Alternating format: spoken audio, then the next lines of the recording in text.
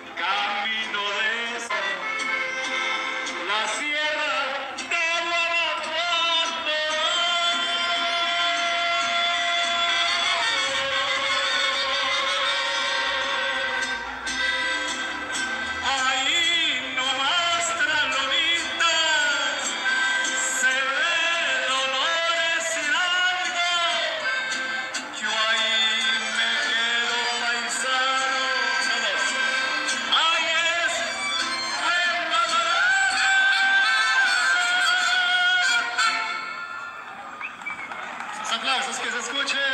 Muchas gracias.